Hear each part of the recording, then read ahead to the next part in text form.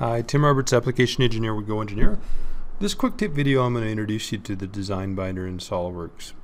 It can be found right up here at the top of the tree.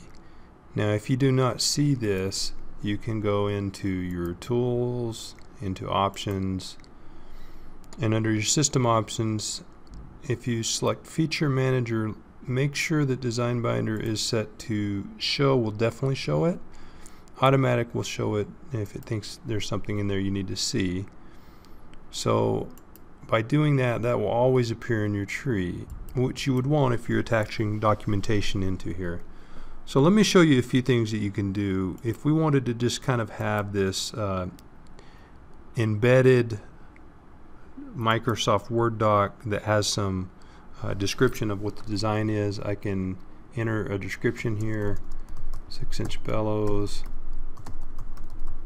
uh, material 6061 aluminum.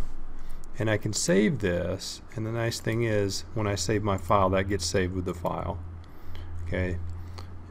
So the way that you attach a document to this is you just simply right mouse click you can add an attachment let's browse out to a file and we'll grab our design guide on my desktop another Word doc in this case, I'm going to say link. Now the, the difference is link will, if that document now subsequently changes, someone adds a page to it, those changes will be captured.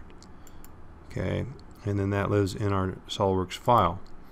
I'll save that, I'll send it to my co-designer, and he'll have the design journal with my notes and also the design guide.